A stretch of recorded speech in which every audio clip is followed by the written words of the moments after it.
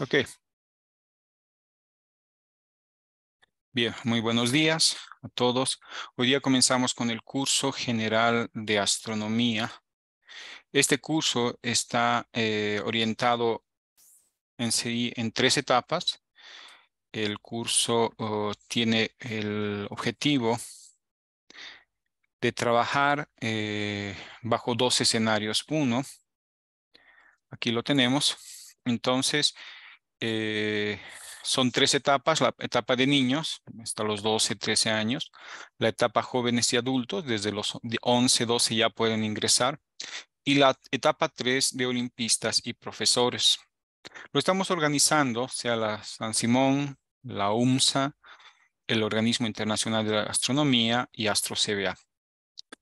Eh, también vamos a trabajar eh, en dos escenarios. Uno, dentro del programa de niños está el sol. Ah, perdón. Las fechas son del 23, ah, en el programa de niños, por ejemplo, del 23 de enero al 14 de febrero, son dos semanas. Vamos a ver principios básicos del sistema solar, sistemas de observación, sistema solar, la esfera celeste, estrellas en la Vía Láctea, galaxias, en sí.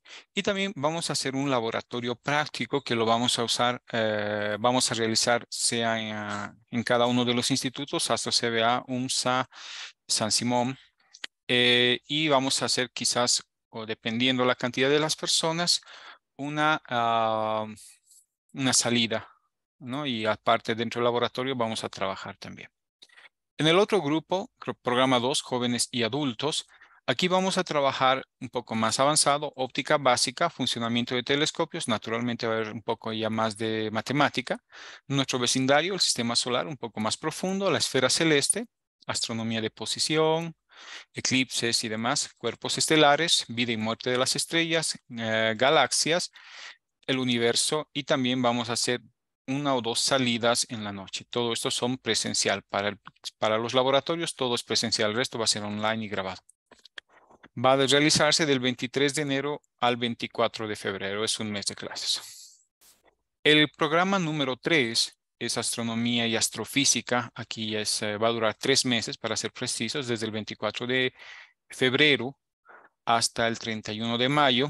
Vamos a ver mucho más con más oh, agresivamente, digamos así, todo lo que es la matemática, observaciones e instrumentación. Vamos a trabajar mucho en lo que es eh, cálculos, astronomía esférica, este es uno de los dolores de cabeza de todos los olimpistas, aplicaciones fotométricas, mecanismos de radiación, mecánica celeste, sistema solar, espectro estelar, sistemas binarios, estructura estelar, evolución estelar en sí, todo esto lo vamos a ir viendo en esos tres meses.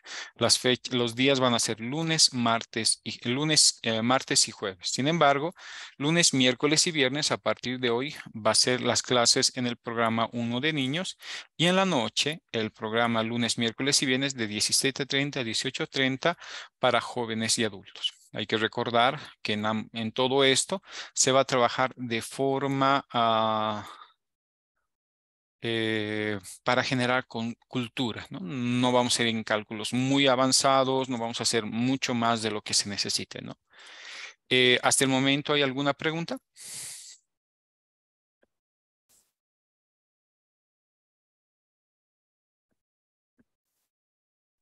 Eh, no, ninguna. Ya, muchas gracias. Asimismo, dentro de este programa, usted les voy a hacer llegar este libro que lo estamos escribiendo, que se llama Astronomía. Esto es del programa 1. Eh, lo estoy escribiendo yo al momento. Eh, es, eh, que es todo el temario que acaban de ver con más detalle. Y hoy día, por ejemplo, ya les voy a mandar un poco de, de temas. Cosmovisión andina, por ejemplo, para que me lean para el miércoles astronomía en Bolivia, Tiwanaku, Imperio Inca, astronomía Aymara, el Sol. Esto me falta todavía poner los links, características principales del Sol, que es lo que veremos ahora, actividades, un poco la mitología en la historia ah, ah, del Sol, el Imperio Romano, el Imperio Persa, algunos dibujos, un pequeño crucigrama que me lo van a rellenar, también les voy a mandar, el Sol en la cultura maya, los quechuas, prácticas. Entonces aquí vamos a medir la distancia de algunos objetos. Vamos a generar, también les voy a mandar cómo hacer un reloj solar. Me van a comentar cómo les fue. Y vamos a empezar también viendo en nuestro sistema solar, direcciones cardinales. el miércoles ya vamos a empezar con sistemas de observación. Todo esto se los voy a, mandar y lo voy a poner en una página eh, que van a poder descargar eh, tranquilamente. Bien, empecemos entonces. ¿Alguna pregunta hasta acá?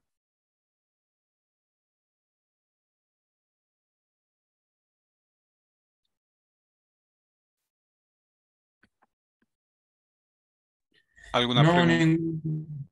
Ya, perfecto. Bien, empecemos entonces. El curso va a tener una duración de unos eh, todavía 25 minutos, un espacio de 5 a 10 vamos a dar para preguntas y luego vamos a volver para que no se canse. Mi persona, Juan Carlos Terraza, soy doctor en física, trabajo en la Universidad Mayor de San Simón el licenciado Mirko Rajeljevic también es de la UMSA, los dos nos, y con la mm, licenciada Zulma Valdés de Astro CBA de Santa Cruz. Estamos trabajando conjuntamente. Aquí falta los de la UTO también que me van a mandar recientemente su, eh, después su trabajo. Bien, ¿qué es el sol? Quisiera que lo, chicos, me gustaría que lo hiciéramos en forma de conversatorio, ¿les parece? Porque vamos a trabajar sobre muchos conceptos, mucho de lo que está en el texto no está acá, sin embargo, solo lo más importante. Eh, bien, ¿qué es el Sol? Para empezar, el Sol es conocido como el astro rey. Es una estrella. Es una estrella redonda, que muchas veces se lo asocia como una esfera de gas. Es caliente, produce luz. Prácticamente sin el Sol no existiría la vida. Y si nosotros nos preguntamos, mm, un minuto, aquí quiero hacer algo. Si nosotros nos preguntamos, ¿por qué el Sol? ¿Dónde existe el Sol? Eh, es también importante considerar que el Sol como tal, un minuto por favor, se están sumando, ya. El Sol como tal es nuestra estrella más cercana. Vamos a habilitar un espacio aquí donde vamos a poner a un programa que se llama Celestia. Vamos a ir al Sol, location file, go to the sun. Ahora nos vamos a dirigir hacia el sol. ¿Logran ver?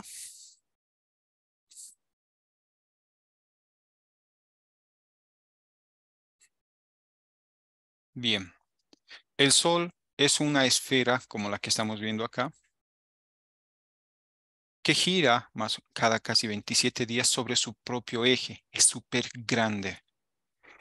Como se mencionó hace un rato, Acá es una estrella redonda, una esfera de gas, es una estrella muy caliente, genera luz. Y es la parte principal de, de nuestro sistema solar. Si nosotros observamos el Sol, como podemos ver aquí, aquí estamos viendo el Sol, los primeros cuatro planetas, aquí, por ejemplo, y nos acercamos al Sol, el Sol es súper grande, tiene unas manchas solares, un ecuador eh, sobre el cual se mueve la mayor cantidad de luz. Las manchas solares también son muy importantes. Eh, pero también hay que recordar que el Sol está, es, la, es el cuerpo gravitatorio más grande de nuestro sistema solar. Nuestro sistema solar es como un, como un platito, así como lo que están viendo ahorita estamos observando el movimiento ahorita, y ahora es como si lo mirásemos de frente. El Sol se encuentra justamente en, si esto es una elipse, en uno de los focos. Pero entendamos bien cómo se mueven las estrellas o los planetas. A ver, veamos, no sé si se están moviendo. Ah, time rate.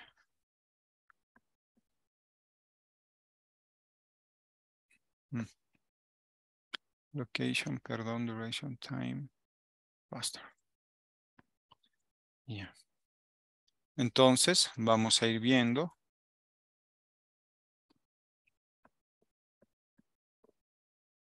Un minuto, por favor. Mm.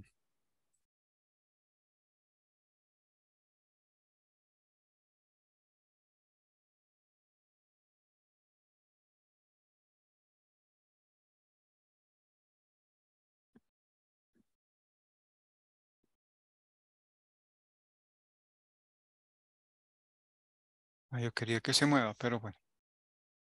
Aquí tenemos esto. A ver.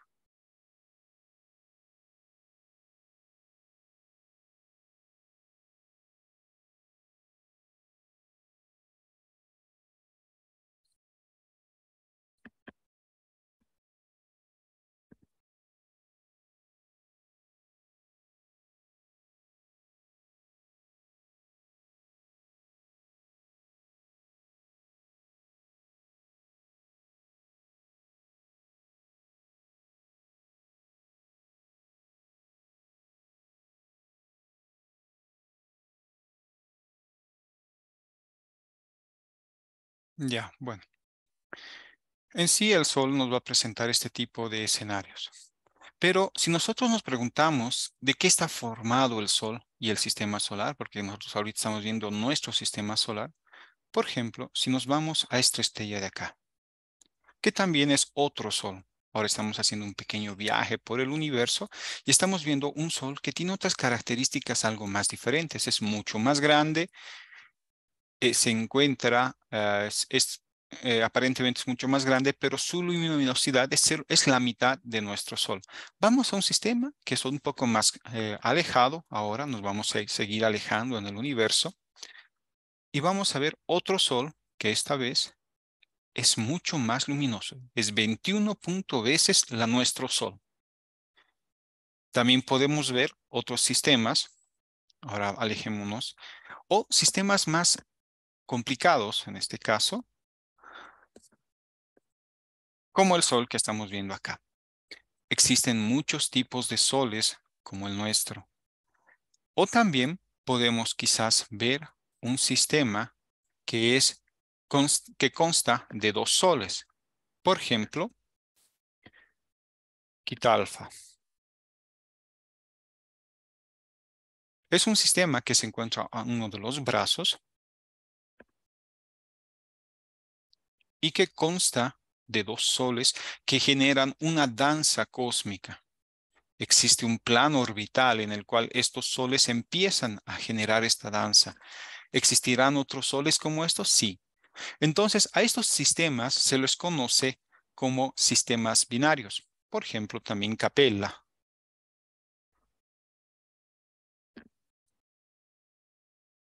Capella es otro sistema binario, el cual también se encuentra en una de las... Vamos a ver, separémonos, aquí estamos. Se lo ve como una estrella única, sin embargo, son dos soles también que generan o están dentro una danza cósmica. Está a los brazos. Uno de los soles es 137 veces más grande que el Sol, el del radio exterior. El del radio interior es 139 veces más grande que el Sol. Es una categoría G5, grado 3. Entonces, como verán, el universo en sí está formado de estrellas como nuestro Sol, astros reyes. Son redondos, son muy calientes.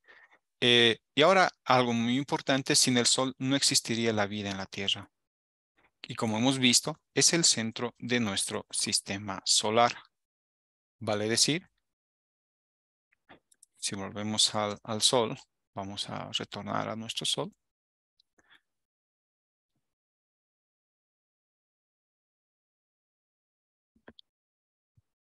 ¿Hasta acá alguna pregunta?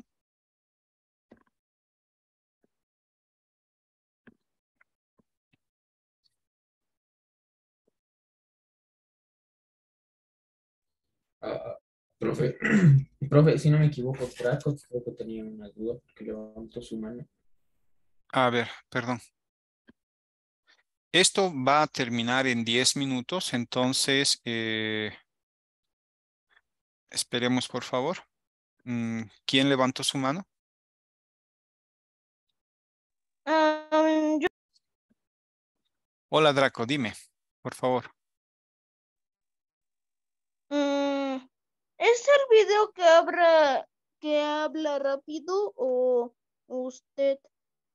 Porque intento notar algunas cosas, pero parece que la rapidez me lo impide. Ah, estoy hablando muy rápido, hijito. Mm, tal vez medio, tal vez más rápido que lento, no sé. Pero solo le estoy explicando.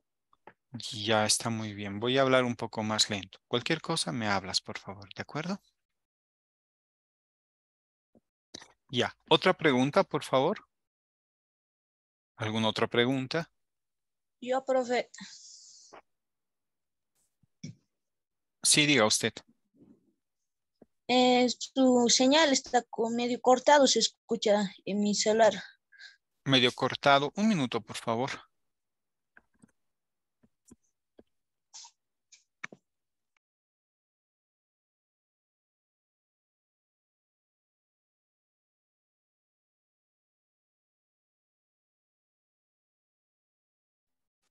Bien, eh, voy a intentar conectarme por cable a la red. No sé si todos se me escuchan medio cortado.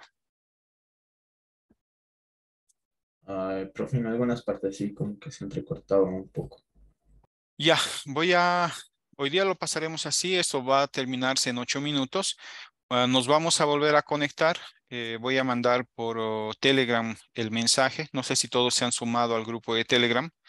Busquen Adastra Bolivia, así Astra Bolivia, y ahí, ahí estoy mandando todos los enlaces y también voy a publicar el material. Bien, continuemos entonces con la presentación. Ahora bien, el Sol, ¿cómo funciona? Para saber cómo funciona el Sol, tenemos que entender de qué partes está formado.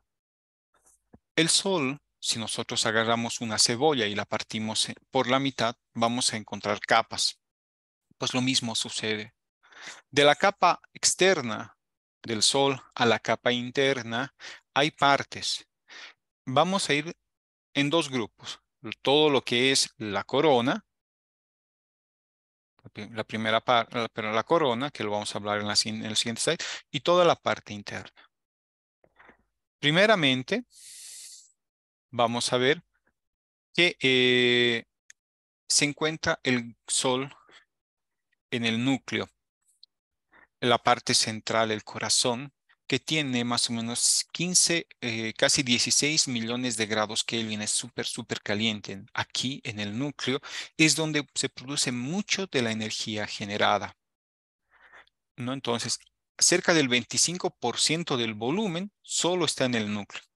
Vale decir que a medida que nos vamos adentrando, es como si entrásemos al mar, cada vez hay más presión, en el Sol es mucho más. Eh, el núcleo se vuelve, el, el entorno se vuelve más denso, la materia es mucho más caliente, mucho más pesada.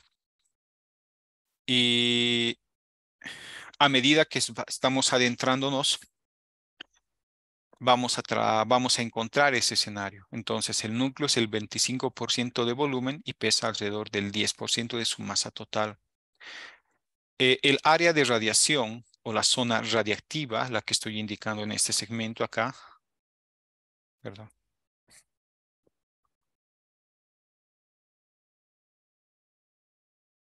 La zona radiactiva es una zona altamente, eh, genera mm, radiación, energía se difumi- dif- difuminiza por radiación. Luego está la, eh, eh, una pequeña capa que es conocida como tacoclina, que es unos 3.000 kilómetros de espesor, solo la área tacoclínica, es 2 millones de grados Kelvin. Eh, la zona radiactiva era de 7 millones de grados Kelvin. Luego está la zona convectiva. Si ustedes se fijan en una olla, un agua hirviendo, es una zona donde la energía se transmite, el es como el movimiento de fluidos. Cuando uno mira el agua eh, girar, entonces una parte entra, luego sale, entra, luego sale, las partículas se mueven de esa zona. Entonces en esta zona convectiva, que es de más o menos casi 7.000, 5.700 millones de eh, grados Kelvin a 2 millones de grados Kelvin. Como pueden notar, de aquí a acá hay una variación de temperatura muy grande. Y finalmente está la atmósfera. En esta zona, entonces podemos desconocer tres zonas, la fotosfera, la cromósfera, la corona y finalmente en la parte externa las manchas solares y los palets. Eh, la fotosfera, como podemos ver acá, es una zona, eh, perdón, esta primera la zona convectiva, la cromósfera, vemos como una zona, como, como una zona muy, muy caliente.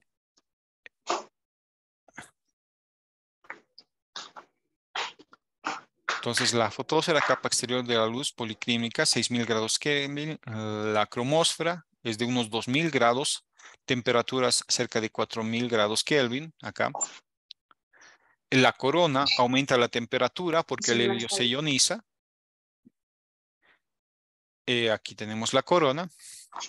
Y las manchas solares. Las manchas solares se generan aquí arriba. Las manchas solares aquí son escenarios eh, eh, donde los campos magnéticos existen por la presencia fuerte de estos campos magnéticos, son áreas oscuras y estos campos magnéticos los hacen más fríos. Existen ciclos de manchas solares, entonces el Sol empieza a trabajar en función de ciclos y estos ciclos permiten a los soles en forma general eh, tener también forma de, de ser estudiados. Vale decir, a través del estudio de la fotosfera, eh, de la cromosfera, pero nosotros sabemos cómo están trabajando o cuál es el comportamiento del Sol. La zona radiactiva eh, o, la zona tacoclínica, acá que estamos viendo, esa de 3000 grados Kelvin, es la responsable donde los campos magnéticos se alteran, que es un efecto del núcleo. Entonces es como un pequeño corazón que está latiendo. Cada cierto tiempo este corazón late. La zona tacoclínica acá recibe toda esa radiación y se presentan las manchas solares. Estos son como la pequeña, el pequeño análisis médico que se puede observar del Sol. Los efectos del Sol en el clima, en, la Tierra son muy importantes. Tenemos eh, que los rayos del Sol van a llegar y dependiendo el ángulo de la Tierra, nosotros vamos a poder ver eh, incluso la, si hay mayor ah, temperatura, menor temperatura, en los polos llega con menor temperatura, mayor distancia atraviesa nuestra atmósfera. Cuando viene, pequeño, eh, cuando viene directo en la zona ecuatorial, atraviesa una transferencia menor. El Sol es el responsable de la, del clima en la Tierra. Entonces, eh, ya vamos a parar, por favor. Eh, les voy a mandar el link que yo creo que va a ser este mismo, para que se sumen al, enlace eh, de Zoom. Termina esto y vamos a, empezar por dos pequeños videos. ¿Preguntas hasta el momento?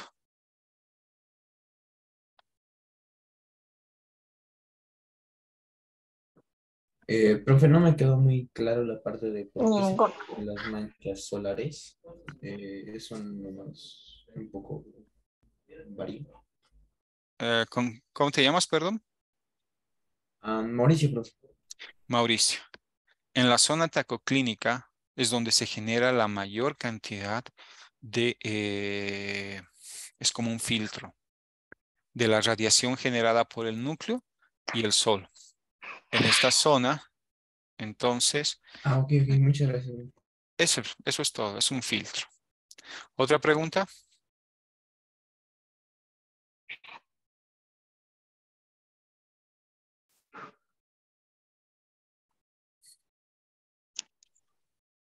Bien, esto se va a cortar y luego nos volvemos a sumar, ¿de acuerdo? Vuelvan a conectarse al mismo link.